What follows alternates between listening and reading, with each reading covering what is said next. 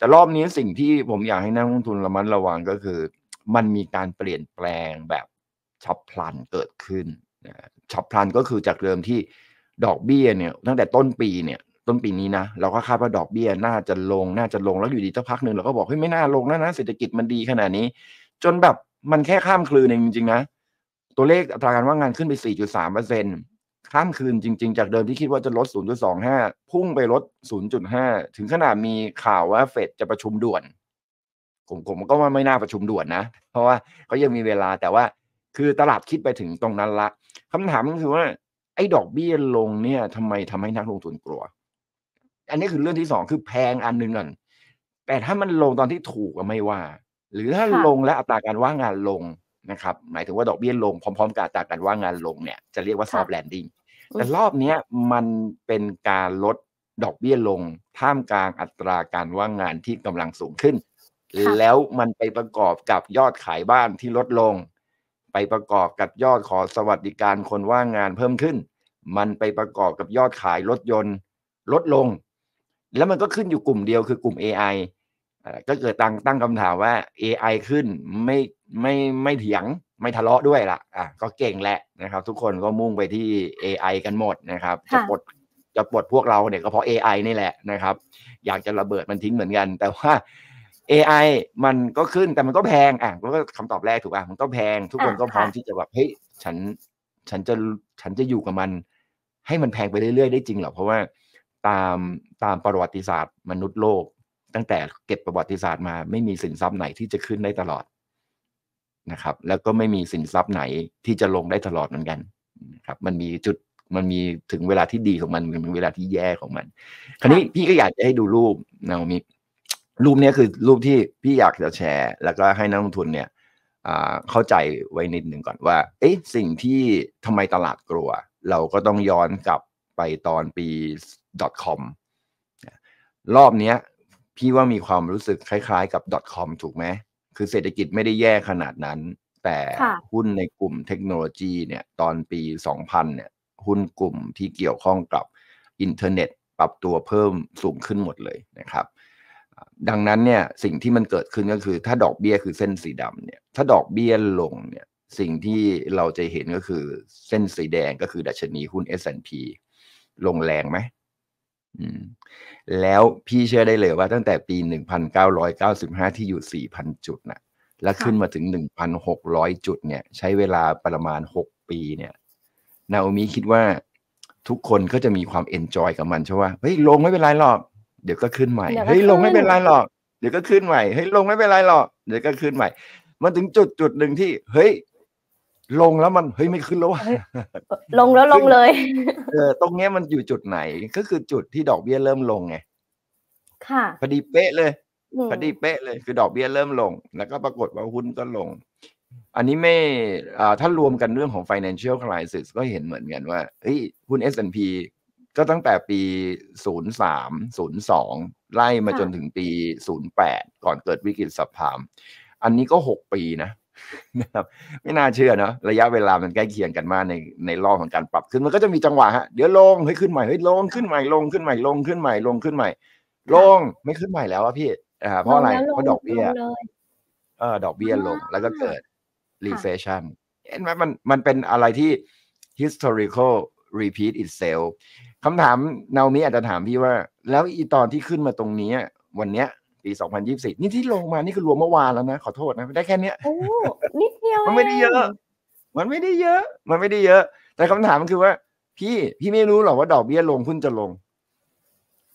อ่า เป็นคำถามที่น่าคิดมากเลยนะพี่พี่ไม่รู้หรอพี่ไม่รู้จริงๆหรอพี่พี่จะล่อกันตรงนี้จริงๆหรออะไรอย่างเงี้ย แต่มันก็มันก็ล่อมาหลายรอบแล้วถูกป่ะก็ล่อให้ลงขึ้นลงขึ้นลงขึ้น แต่คำถามคือรอบนี้ที่เปลี่ยนแปลงไปก็คือว่า ไม่เคยมีใครคิดได้ชัดเจนขนาดนี้ว่าดอกเบี้ยเนี่ย มันน่าจะลดลง แต่มีคนเล่นอยู่ตรงนี้เพราะอะไร เพราะว่ามันมีการมีการเลื่อนในการลดดอกเบี้ยลงมาหลายครั้งละเพราะฉะนั้นมันก็จะมีคนที่จะคาดว่า เอ๊ะ มันอาจจะไม่ลงจริงก็ได้นะ มันอาจจะอย่างเงี้ยอย่างเงี้ยไปเรื่อย มันก็แบบถูกปรับขึ้นไปเรื่อยๆ แล้วคนที่เล่นตรงนี้หรือลงทุนตรงนี้ต้องบอกนิดนึงก่อน ไม่ใช่วอลเลนมาเฟตแน่นอน ค่ะ ถูกป่ะ เราต้องแยกกลุ่มนักลงทุนที่เข้าไปเล่นตรงนี้ก่อนนะ วอร์เรนบัฟเฟตต์เนี่ยเขาไม่ได้ซื้อเลยนะ เพราะว่าตั้งแต่หลังจากโควิดแล้วขึ้นมาทำ new high เนี่ยต้องบอกนิดนึงก่อนว่าวอร์เรนบัฟเฟตต์เนี่ยถือเงินสดเพิ่มขึ้นทุกวันทุกปีค่ะแล้วก็มีการพูดกันตั้งแต่สองปีแล้วนะครับว่าวอร์เรนบัฟเฟตต์ถือเงินสดเพิ่มขึ้น เป็นสูงสุดเป็นประวัติการณ์ปีที่แล้วก็สูงสุดเป็นประวัติการณ์ปีนี้ก็ซุปเปอร์สูงสุดเป็นประวัติการณ์ถือเงินสดสิบล้านล้านบาทที่เขาแปลงกันเป็นเงินดอลลาร์จากเงินดอลลาร์เป็นเงินบาทสิบล้านล้านบาทนี้ก็คือเกินครึ่งหนึ่งของเศรษฐกิจไทยอะนั่นแค่เงินสดนะ ให้เขามาเทคโอเวอร์ประเทศไทยได้เลยนะเงินในพอร์ตให้เขามาซื้อหุ้นไทยไปทั้งเอาหมดเออเออวอร์เรนบัฟเฟตต์เองเอาประเทศไทยไปทั้งประเทศเลยเผื่อจะขึ้นบ้างสิ้นเรื่องสิ้นราวอะไรประมาณนี้ แต่แต่ทำไมคนมีคนเล่นเพราะว่าคนที่เล่นตรงนี้คือนักเก็งกำไรนะวันนี้คือ hedge fund คือคนที่คิดว่าเฮ้ยห้าเปอร์เซ็นฉันก็เอา แล้วค่ะแล้วฉันพร้อมที่จะ cut loss ได้ทุกเมื่ออ่าฉันก็จะ cut เพราะฉะนั้นคนที่เล่นตรงนี้ก็คือจะเป็นนักเก็งกำไรที่พร้อมที่พร้อมจะตัดแล้วเมื่อวานนี้คือการตัด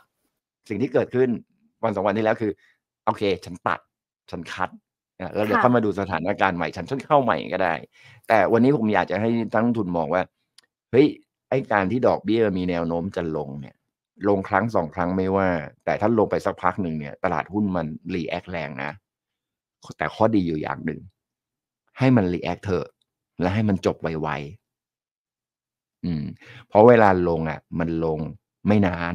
เนี่ย อย่างถ้าเอาเป็นอืม subprime เนี่ย ลงแค่ปีครึ่ง อันนี้อาจจะลงค่ะนานนิดนึง .com ลงสองปี แต่สุดค่ะท้ายเวลามันขึ้นน่ะนามีครับ มันขึ้นหกปี ก่อนโควิด เนี่ยขึ้นกี่ปีสิบปีอืมแล้วก็ลงมา นี่ลงห้าสิบเปอร์เซ็นนะครับ ดูเหมือนน้อยค่ะๆลงห้าสิบเปอร์เซ็นหลังจากนั้นก็ขึ้นขึ้นมาเรื่อยๆ ขึ้นมาจนถึงวันนี้ เขาถึงตรงนี้จริงๆ นี่ก็กินเวลาตั้งแต่ขึ้นมาตรงเนี้ยครับ ตั้งแต่ปี 2020 จนถึงปี 2024 2025 นี่ก็ 4-5 ปีก็ก็ไม่แปลกใจหรอกนะครับแต่เวลาลงเนี่ย ข้อดีของมัน เวลาดอกเบี้ยลงอะครับ มันลงเร็ว เวลาหุ้นลงลงเร็วลงวันนี้แค่แค่นี้เอง ค่ะ ดังนั้นถามว่ามีโอกาสอีกไหมมีมียังไม่เข้าหุ้นไทยนะยังมีอีก ยังมีอีกดอกเบี้ยลงมาขึ้นแค่ลงครั้งแรก แล้วมาเวลาลงแล้วมันไม่เคยปราณีใครนะเวลาลงมันลงเร็วอ่าก็ต้องอธิบายต่อไปอีกว่าทำไม ทำไมท้องกลัวกันว่าลงเราต้องลงเร็ว เพราะว่าทุกอย่างต้องทำให้จบเร็ว อย่าอย่านะ อย่าลงดอกเบี้ยแล้วค้างแล้วลงใหม่แล้วค้างแล้วลงใหม่ ไม่เกิดขึ้นโอ้ค่ะไม่เกิดขึ้น มันไม่เคยเกิดขึ้น แล้วก็ไม่คิดว่าจะเกิดขึ้น ไม่ว่าครั้งใดครั้งหนึ่ง เพราะว่าทุกครั้งเวลาขึ้นอะเหมือนกัน ย้อนกลับไปเวลาขึ้นขึ้นเร็วไหมเร็วค่ะป๊อปเป็ป๊อนปป๊อปป๊อปป๊อปป๊อปป๊อปป๊อปอันนั้นขึ้นจะไม่รู้จะใช้อะไรวัดเลยค่ะ ขึ้นจนเสียวไส้อะ ขึ้นเร็วมากอะก็เข้าใจว่าเวลาจะลงหรือจะขึ้นดอกเบี้ยทั้งสองรอบต้องทำให้จบเร็วที่สุด แต่จะค้างอยู่ข้างล่างนานๆ ไม่เป็นไรนะครับ จะค้างอยู่ข้างบนนานๆ ไม่เป็นไร ขอให้จบเร็วๆ แล้ววันนี้พูดยากมากเลยว่าดอกเบี้ยจะไม่ลง แล้วก็พูดยากมากอีก ว่าดอกเบี้ยจะขึ้นต่อถูกไหมครับด้วยเศรษฐกิจแบบนี้ค่ะหวังว่าให้ดอกเบี้ยขึ้นเดี๋ยวหุ้นขึ้นใหม่ขึ้นหลายคนเข้าใจผิดว่าดอกเบี้ยลงดอกเบี้ยขึ้นหุ้นลงดอกเบี้ยลงหุ้นขึ้นนะค่ะ ดูรูปให้ชัดก่อนนะอืมดอกเบี้ยขึ้นหุ้นขึ้น เพราะว่าดอกเบี้ยขึ้นตามด้วยเศรษฐกิจที่โต ดอกเบี้ยลงค่ะตามด้วยเศรษฐกิจที่แย่ ดังนั้นตัวที่มีผลต่อตลาดหุ้นมากที่สุด ที่น่ามองมากกว่าเศรษฐกิจอ่าน่ามองมากกว่าดอกเบี้ยลงหรือดอกเบี้ยขึ้น คือเศรษฐกิจอะถ้าเศรษฐกิจมันแย่ ก็คือหุ้นลง เศรษฐกิจค่ะมันดีก็คือหุ้นขึ้น นั่นคือที่มาว่าทำไมตลาดหุ้นไทยถึงลง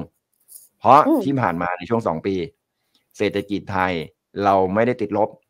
แต่เราค่ะสู้ชาวบ้านไม่ได้ ดังนั้นเงินที่เข้า emerging market หรือจริงๆสองปีที่แล้วเงินแทบไม่ได้เข้า emerging market นะครับ เข้าไป develop market อะเรากลับเข้ามาเรื่องเรื่องเรื่องตลาดหุ้นในภูมิภาคของเราเนี่ยค่ะสองปีที่ผ่านมาเราไม่เคยมีเงินไหลเข้าในไทยเลยนะฮะเราเห็นมีแต่ไหลออกไหลออกจนเราลองงอนน่ะนะครับลองงอนอ่าแต่เขาไปเข้าประเทศพัฒนาแล้ว ไปเข้าไต้หวัน เกาหลีค่ะใต้ ญี่ปุ่นนะครับญี่ปุ่นนี่แบบเซาๆมานานยังขึ้นไปทำ new high ได้นะครับอ่าเอจิ้งโซซ i ตี้เหมือนบ้านเราก็ยังทำ new high ได้ ไปเข้าสหรัฐแล้วก็ไปเข้ายุโรปทั้งหมดเลย แต่พอมาฝั่ง emerging market นอกจากอินเดียแม้กระทั่งอีเวนต์เวียดนามยังถูกขายนะ ค่ะต้องเข้าใจนิดนึงก่อนเวียดนามยังถูกขายนะครับอ่าถ้าจะมี net buy จากต่างประเทศก็จะมีแค่อาจารย์นิเวศน์ที่เข้าไปซื้อเยอะนะครับแล้วก็กองทุนในประเทศที่เข้าไปซื้อเยอะ แต่โดยภาพรวมต่างประเทศขายเวียดนามนะอ่าแต่ก็ไม่ได้ขายหนักเท่ากับประเทศไทยอ่าแล้วก็ขายจีนนะครับอาจจะมีเน็ตบายอินเดียด้วยความที่เศรษฐกิจเขาโต แต่โดยภาพรวม emerging market เนี่ยถูกขายค่ะดังนั้นหแล้วใน emerging market พอขายเสร็จปุ๊บประเทศไหนนะ น่าขายมากที่สุดนามิตอบคำตอบได้ชัดเจนมากเลย ประเทศเราประเทศไทย เราอุตส่าห์ยิ้มหวานแล้วนะ ยังอุตส่าห์จะมาขายอีกก็เศรษฐกิจไทยเราโตต่ำอะเนาะตั้งแต่โควิดมา โอเค เราเริ่มฟื้นตัวนะครับ แต่เราก็อิงกับนักท่องเที่ยวเยอะเกินไปนิดนึงพอนักท่องเที่ยวเยอะไปนิดนึงกลายว่าจีนเนี่ยมันสะดุดพอสะดุดปุ๊บนักท่องเที่ยวจีนเดิมทีเดียวที่คิดว่าจะฟื้นตัวเร็วๆก็ไม่ฟื้นส่งออกจีนมีปัญหา เราก็ส่งออกมีปัญหาไปด้วย ทั้งส่งออกทั้งนักท่องเที่ยวมันก็ไม่ฟื้นก็กลายเป็นว่าเศรษฐกิจไทยฟื้นช้าสุด เพราะเราไม่มีเทคโนโลยีเศรษฐกิจไทยโตหนึ่งเปอร์เซ็นแล้วยิ่งหลังการเมืองไม่มีงบประมาณก็มาอีก ไม่มีการลงทุนก็มาอีก งบลงทุนก็หายไป มันก็งบทั้งลงทุนก็หายการบริโภคก็หายนักท่องเที่ยวก็ไม่ฟื้นตามคาดการส่งออกก็ไม่ดีเศรษฐกิจไทยเราเลยโตเหลือแค่หนึ่งเปอร์เซ็นต์หนึ่งจุดห้าเปอร์เซ็นตในไตรมาสที่หนึ่งที่ผ่านมาดังนั้นเขาก็เลยไม่สนใจหุ้นไทยแล้วก็แล้วก็ขายหุ้นไทย อันนี้คือภาพรวมที่ทำไมเมื่อวานนี้ตลาดหุ้นถึงได้ตกใจ เพราะว่าภาพนี้จะเป็นภาพที่กลับขั้วกับสิ่งที่เคยเกิดขึ้นในอดีต แล้วถ้ามันกลับขั้วนักลงทุนก็ต้องมีการปรับโพซิชันสิ่งแรกที่จะมีการปรับโพซิชันก่อนเลย เห็นได้ชัดที่สุดก็คือวิ่งเข้าไปสินทรัพย์ที่มีความเสี่ยงน้อยที่สุด